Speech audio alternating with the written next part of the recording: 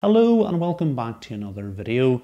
Today I'm going to be reviewing the FlexiSpot Pro E7 standing desk, which is FlexiSpot's flagship model.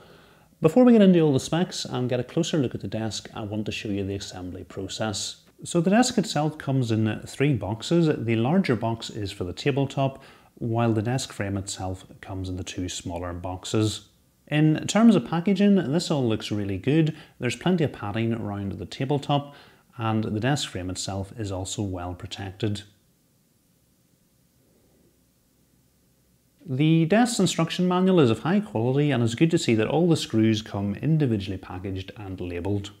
As well, it's nice to see the desk comes both with an EU and a UK plug.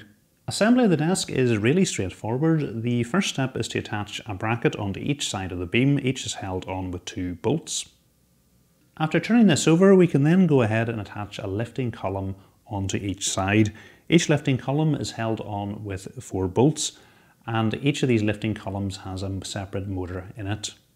Next, we can go ahead and attach the feet to the frame. Each is held on with four bolts.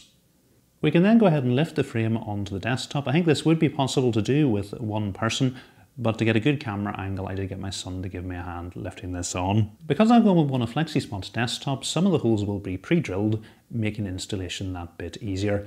Of course, you don't have to go with one of their desktops, you can use this with any tabletop. To adjust the length of the frame to line up with the pre-drilled holes, all we need to do is loosen the four bolts in the middle. We can then go ahead and fix the frame to the desktop using four screws at each side. Following this, we can go ahead and retighten the four bolts we loosened earlier on in the middle of the frame. Then we need to secure the middle part of the frame to the desktop using a further four screws. These holes aren't pre-drilled, so I find using an electric screwdriver that little bit easier. Then we can go ahead and attach the desk control panel to either side of the desk using two screws and the pre-drilled holes. Then it's just a matter of connecting the cables up to the control unit. So each of the motors needs to be plugged in and then we need to plug in the control panel. Then we need to go ahead and plug in the power cable. The final step is to attach the supporting beam stroke cable cover. To do this you want to screw four of the bolts in loosely, then you're going to be able to put the bracket in place before finally tightening up the bolts and this does a great job of hiding all the cables away. In terms of turning the desk over, I think you could manage this with one person, but as I had my son about, I got him to give me a hand. So as I've mentioned, the desk I've got is FlexiSpot's flagship model, the E7, which is currently selling on their website for just under £400. This price just includes the desk frame. The top is optional. You can either add your own top or get a desktop from FlexiSpot. The all black model that I have, which is 140 by 70 centimeters by 2.5 centimeters, costs just under £100. They offer a whole range of sizes and different colours on the website. In terms of the desk frame, it's available in black, grey and white. So as you'll have noticed during the build, the E7 flagship model features dual motors, giving the desk a weight capacity of 125 kilograms. The desk can travel from a minimum height of 60.5 centimeters to a maximum height of 126 centimeters. It moves at a speed of 3.8 centimeters per second at noise levels of less than 50 decibels. The desk features anti-collision technology, so it will detect if there's something interfering with its movement either above or below the desk, and it will then stop the desk moving and move backwards slightly from the obstruction. Using the control panel is fairly straightforward. Holding the up and down buttons allows you to adjust the height of the desk. It moves when you're holding the button and stops when you let go. As the desk is moving, its height will be displayed in the centre of the control panel.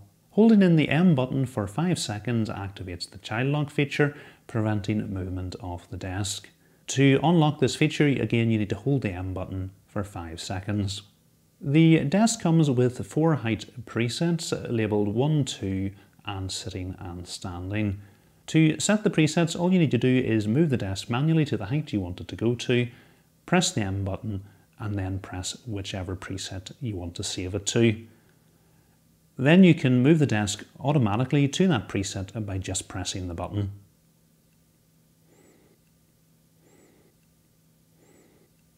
Even at its maximum height, the desk is still pretty sturdy. As well as sending me out the desk, the guys at FlexiSpot have also sent me out their M21 monitor mount. So I'm going to go ahead and get the desk set up with a PC to give you an idea of what it looks like.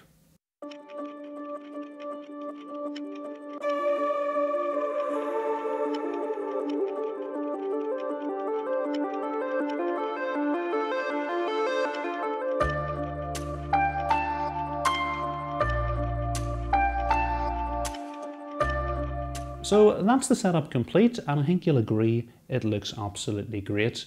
In terms of building the desk, as you can see from the installation, it was really straightforward. The build quality is excellent, both off the frame and off the desktop itself, and I think it looks great in this all black colour. Again, the desk is also pretty sturdy. Um, one of the other things I was really keen to test with a standing desk was to use it with a desktop rather than a laptop because you're going to have a whole lot of cables coming down. What I actually did was I installed a power brick underneath the desk with some double-sided tape and that is the only wire that comes down to the floor.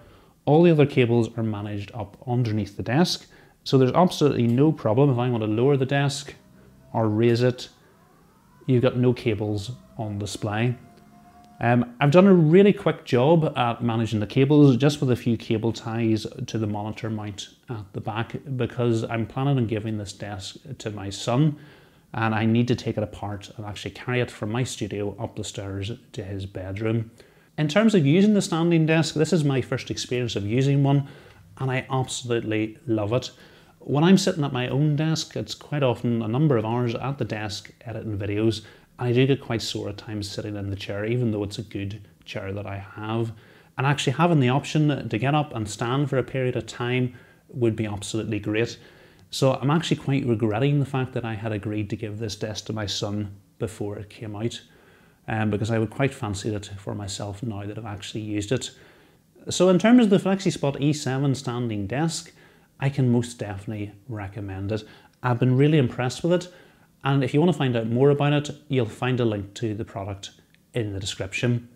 So hopefully you found the video useful. If you have, please remember to give it a thumbs up. And if you're not currently subscribed to the channel, please hit the subscribe button as well. Thanks for watching.